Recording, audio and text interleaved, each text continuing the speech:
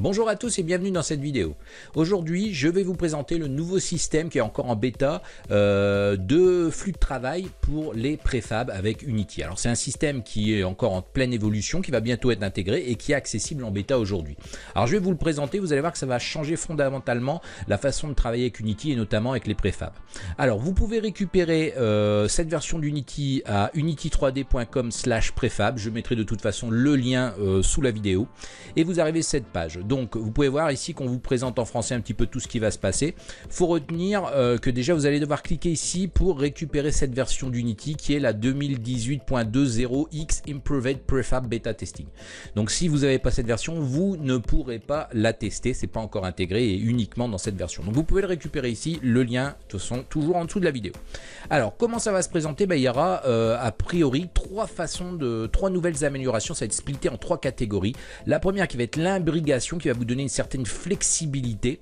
Euh, la deuxième qui va être les, les préfables variants qui vont vous permettre euh, d'améliorer l'efficacité. Et la troisième chose, c'est le mode préfab pour ne plus perdre de temps euh, et éviter les erreurs. Alors je vous propose de tout de suite rentrer dans Unity pour vous présenter ces trois différents modes. Intéressons-nous tout d'abord au mode préfab. Alors le mode préfab, vous allez voir qu'il est très intéressant. Alors je vais créer pour les besoins ici euh, du tuto une sphère euh, sur laquelle je vais en faire un simple préfab. Donc je prends ma sphère et je la glisse ici. Évidemment je vais en créer plusieurs pour qu'on comprenne bien. Donc je vais euh, ici glisser une autre sphère, je vais la mettre ici, la déplacer un peu sur le côté et je vais faire exactement pareil avec une troisième sphère. Mes trois sphères sont bien à l'écran. Donc qu'est-ce qui va se passer maintenant pour entrer dans ce mode euh, qu'on n'avait pas auparavant? C'est je vais pouvoir ici sélectionner ma sphère et ouvrir mon préfab, rentrer dans le mode préfab. Et si je sélectionne cette euh, Open Préfab, vous pouvez voir que ici dans ma scène, je n'ai uniquement maintenant plus que ma sphère. Et cette sphère, je vais pouvoir la modifier comme un préfab, c'est-à-dire je vais pouvoir l'agrandir. Et là, on peut voir que bah, ça s'agrandit partout. Tous mes préfabs sont affectés. Je rapte ici, tous mes préfabs sont affectés. Alors tout ça parce qu'ici, vous pouvez voir que j'ai autosave. On peut le décocher et on peut tout simplement ici agrandir. Vous pouvez voir que ça ne se réplique pas tant que je n'enregistre pas ici avec le bouton save. Donc pour les besoins ici du tuto, je vais laisser autosave parce que je trouve ça assez pratique. Donc ça, c'est parfait. Ça me permet ici, évidemment, euh, bah, de modifier euh, mon préfab. Je vais pouvoir, par exemple, lui affecter ici la couleur verte. Et ça, ça se réplique partout. Alors pour ressortir du mode préfab, vous cliquez ici sur la petite euh, flèche gauche au niveau de votre hiérarchie et là vous retournez au niveau de votre scène, ici qui n'est pas enregistré, vous pouvez voir. Euh, et j'ai ici mes préfabs. Alors mes trois préfabs sont bien là et imaginons ici que ce préfab de droite, je veux euh, l'agrandir un petit peu, donc je l'agrandis un petit peu. Et on peut voir qu'il est bien agrandi, mais ça ne se réplique nulle part. Normal, parce que là, je ne suis pas en mode préfab. Et là, ce qui va être intéressant de comprendre, c'est que si maintenant je rentre en mode préfab, donc je peux soit sélectionner ici ma sphère et cliquer sur Open Prefab, ou cliquer ici sur une des deux sphères et cliquer ici sur la flèche. Là, je, rentre en mode préfab, et là, ce que je vais faire, je vais affecter à mes préfabs le matériel rouge. Et là, on peut voir que les trois ont bien, euh, ont bien eu le matériel rouge. Par contre, si maintenant, je sélectionne ma sphère et je la rapetisse ici. Vous pouvez voir que seules mes deux sphères de gauche sont affectées. Pourquoi? Parce que euh, Unity va modifier maintenant vos préfables à partir du moment où euh, les propriétés sont les mêmes. C'est-à-dire qu'ici, ils ont le même scale au niveau de mon préfab, ils, ont la, même couleur. Donc automatiquement, ça va modifier tous ceux qui n'ont pas euh, ce préfab ou cette propriété n'a pas été modifiée. De la même manière que si je reglisse ici euh, mon, verre, on peut voir que c'est affecté partout parce que au niveau euh, ici euh, de, la texture du matériel, de la couleur, je l'avais affecté la même couleur partout. Donc ça va fonctionner. Par contre, au niveau du redimensionnement, comme j'ai modifié les valeurs de celui-ci, ça ne fonctionne plus. Alors ce qui va être très intéressant, c'est que maintenant on va pouvoir sélectionner ce préfab. Imaginons ici que bah, je me rends compte que j'ai fait des bêtises. Je vais pouvoir aller ici au niveau de sa propriété dans l'inspecteur, Override. Et si vous cliquez, vous pouvez voir que vous avez ici le transform. Le transform, justement, si je le sélectionne, j'ai ici ce que j'avais en source et ici euh, bah, ce que j'ai maintenant. Et on peut voir que j'ai modifié la position, mais aussi le scale. Imaginons que je veux euh, rétablir tout ça, le scale uniquement, je peux faire un clic droit dessus euh, et faire revert. Et là, je peux faire un revert de tout son transform, ce que je vais faire, ce qui me permet ici d'avoir exactement maintenant mon préfab qui est revenu à l'état d'origine. Si maintenant je rode de nouveau dans le mode euh, préfab ici de ma sphère, on peut voir que maintenant, si je l'agrandis, les trois sont bien affectés parce qu'il a récupéré exactement les mêmes valeurs. Donc ce qui est intéressant à comprendre, c'est que vous allez pouvoir faire des modifications de vos préfabs, comme par exemple ici, prendre cette sphère et lui affecter un matériel rouge. Euh, et ensuite, vous allez pouvoir non seulement bah, revenir en arrière si vous avez fait une erreur. Vous pouvez voir ici que j'ai la propriété Mesh Renderer. Je vais pouvoir faire un, Revert All, par exemple. Euh, je peux aussi faire un Apply All, c'est-à-dire appliquer ça partout. Euh, et ce qui est vraiment très intéressant, c'est qu'avec ce, ce Prefab Mode, en fait, vous pouvez ici ensuite modifier bah, toutes les propriétés. Par exemple, si, je lui mets du noir, on peut voir que ces deux-là sont uniquement affectés. Donc ça fonctionnera pour toutes les propriétés, que ce soit la position, le scale, euh, autre chose. Donc ça, c'est très intéressant.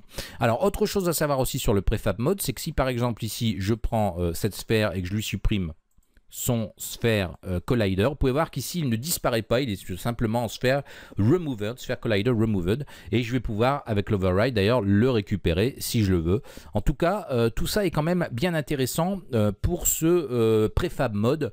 Alors, ça change un petit peu votre façon de travailler avec les préfabs, mais vous pouvez voir que c'est quand même très très intéressant. Passons maintenant à l'imbrication de préfab. Alors vous allez voir ici, j'ai euh, créé euh, un second préfab, donc j'ai toujours ici mon préfab de sphère et j'ai créé un second préfab qui est un cube rouge tout simplement. Je vais créer un troisième préfab. Je vais, euh, pour les besoins ici du tuto, simple, un simple cylindre, on va s'en servir tout simplement ici, voilà. Et bah, je vais en créer ici, créer un préfab. Je le supprime de ma scène, voilà. Donc, euh, ce que je vais faire au niveau ici de ma sphère, je vais rentrer euh, dans le mode préfab. Et euh, bah, je vais tout simplement ici glisser mon cylindre et je vais le positionner bah, à un endroit ici stratégique, on va dire au-dessus de sa tête, enfin sur, la, sur la tête si on peut appeler ça une tête, hein, au niveau de la sphère. On va le faire dépasser ici pour faire un genre de un genre de, je ne sais pas, mais un genre de quelque chose. Euh, alors on peut voir que je ne l'ai pas bien positionné, on va se remettre ici en ISO, alors ce qui est assez embêtant, voilà, pourquoi ici c'est pas terrible. Bon, vous aurez compris, l'idée ici est de vous montrer comment tout ça fonctionne. Donc je ressors ici euh, de mon mode préfab et je vais faire exactement la même chose ici avec mon cube. Donc je vais sélectionner mon cube, Open Préfab, je rentre dans le mode préfab, je glisse ici mon cylindre, il est enfant ici euh, du cube et je vais le positionner ici au-dessus. Voilà, peu importe. Et euh, on va le mettre un peu au centre quand même, j'espère qu'on va le voir. Voilà, on va le voir. Donc je ressors ici du mode préfab et on peut voir ici que j'ai mes deux préfabs avec ici cylindre dedans. Alors l'intérêt, c'est que maintenant, si j'ouvre ici mon cylindre, je fais Open Prefab, je vais pouvoir modifier ici par exemple le matériel et euh, lui mettre un matériel noir. Et là, regardez ce qui se passe. Sur tous mes préfabs, eh ben, étant donné que ce préfab est imbriqué, je vais pouvoir modifier ici ce préfab sur toutes mes instances de préfab. Je peux par exemple ici euh, l'agrandir sur le haut. Aucun souci, ça se répliquera. Voilà. Euh, je peux vraiment tout faire. Donc ça, c'est vraiment très intéressant parce que vous allez pouvoir de ce fait ben, imbriquer les, les préfabs à l'intérieur des autres. Alors on peut voir ici que mon cylindre est bien enfant, mais grâce à à, cette imbrication, je peux maintenant agir sur toutes les instances de préfab qui possèdent ce préfab, euh, enfin qui est imbriqué en fait dans le préfab. Donc j'espère que cette démonstration est assez claire, elle est simple, c'est une, fonctionnalité simple mais qui peut vous rendre vraiment beaucoup de services. Alors il nous reste à voir les variantes de préfab.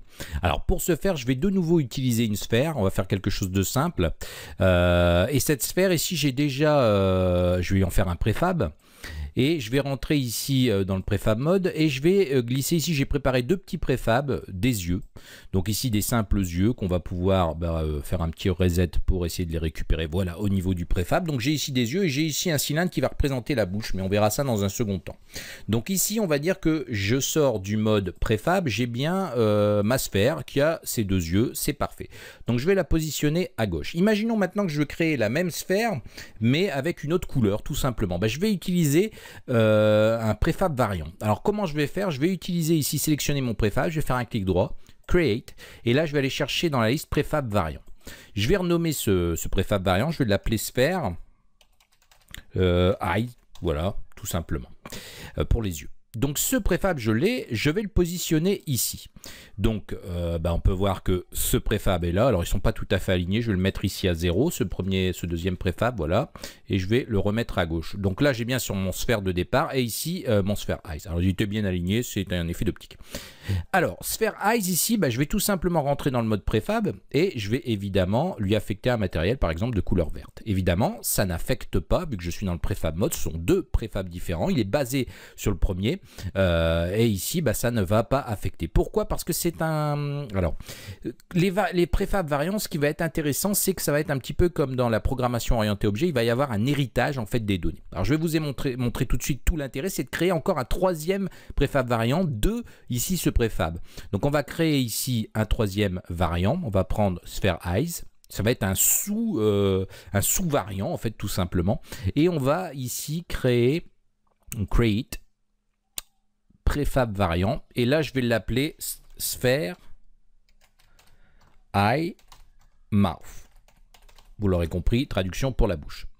Donc, je vais ouvrir ici euh, ce préfab et euh, je vais tout simplement lui glisser ici l'objet que j'ai préparé qui est une bouche, tout simplement. Vous pouvez voir, c'est un cylindre. Donc je vais mettre ici 0, 0, 0 au niveau du transform. Et je vais essayer de le positionner euh, correctement. Alors, euh, il faut de l'imagination au niveau design. Effectivement, c'est pas terrible. Voilà, donc on va le laisser comme ça. on va le reculer un petit peu parce qu'on n'a pas l'écran. Voilà, on va le laisser comme ça. Qu'est-ce que ça donne? Voilà, on va dire qu'il y a une bouche ici, peu importe. Donc, ce préfab ici, et maintenant, je vais le glisser sur ma scène. Donc, je sors du mode préfab et je vais le glisser sur ma scène. Je vais le mettre ici à droite. Donc tout l'intérêt maintenant, c'est si je prends ma première sphère, c'est-à-dire celui d'origine, et que maintenant je rentre dans le mode préfab, je vais pouvoir ici modifier par exemple la taille de ce préfab, le diminuer. Et là, vous pouvez voir que les trois sont affectés parce qu'en fait, ils dérivent, ils héritent en fait des propriétés qui n'ont pas été modifiées de nouveau de mon premier préfab. C'est-à-dire que je peux ici modifier la taille, tous seront affectés. Je peux par exemple prendre les yeux et aussi euh, les agrandir, tous seront affectés. Par contre, si maintenant je prends un matériel et que j'affecte ici la couleur rouge à mon préfab d'origine, vous pouvez voir que seulement mon préfab rouge d'origine est affecté parce qu'ici, euh, ces euh, propriétés de texture de couleur verte ont écrasé, en fait, n'étaient pas les mêmes. À partir du moment ici où je n'ai pas modifié la taille de nouveau, euh, le scale, les propriétés de scale des autres préfabs, ben, je peux agir sur tous ces scales. Donc ça, c'est vraiment très intéressant, euh, comme vous pouvez le voir. Et imaginons ici que maintenant, je veux, je vais remettre le vert, je vais ressortir du mode euh, ici préfab, je veux affecter une autre couleur à ces deux préfabs, ben, je vais sélectionner ici Sphere High, qui lui en fait est un, variant euh, ici Sphere High. Alors j'ai d'ailleurs j'ai pas écrit Sphere, j'ai mis un J à la place, peu importe. Sphere High Mouth dérive ici de Eyes. Donc si je rentre ici dans le mode euh, préfab et que je lui affecte le rouge, vous allez voir que ces deux-ci sont affectés tout simplement parce qu'ils avaient eux la même couleur au départ. Donc et en plus celui-ci est on va dire dérive de celui-là grâce au variant. Donc ça c'est très intéressant. Évidemment je vais pouvoir faire la même chose ici euh, au niveau de la taille. Par contre, maintenant, vous l'aurez compris, si je reviens au niveau du premier dans le mode préfab et que je modifie sa taille, maintenant, il n'y a plus que lui qui est affecté. Alors évidemment, euh, vous pouvez euh, arriver toujours ici, si vous sélectionnez euh, vos préfabs, vous avez l'override ici, et vous pouvez voir que je n'ai aucun override, et dans celui-là, non plus. Voilà, donc c'est un peu différent. Ici, on a des préfabs variants, et vous pouvez voir que tout l'intérêt, c'est ici, vraiment, c'est assez flexible. Voilà, donc j'espère en tout cas que cette vidéo vous aura plu vous avez découvert ici, je vous, rappelle que cette fonctionnalité va être implémentée à l'avenir euh, au niveau d'Unity. Donc les préfabs, la gestion des préfabs, vous allez voir, va, changer un petit peu. Ça va vous, changer un peu la vie. Mais euh, franchement, après les avoir testés, euh, c'est quand même pas mal. on s'y fait très très très vite et ça peut être vraiment très intéressant et vous faciliter la vie quand vous avez bien ce système en main. Donc pour ceux qui veulent l'utiliser, le lien est sous la vidéo. voilà. Donc n'hésitez pas évidemment à mettre un gros pouce bleu sur la vidéo. On est de plus en plus. on doit encore on est déjà à plus de 6K, bah, objectif 10K maintenant. Euh, et puis n'hésitez pas à vous abonner si vous n'êtes pas encore abonné à la chaîne. Et moi je vous dis à bientôt pour une prochaine vidéo.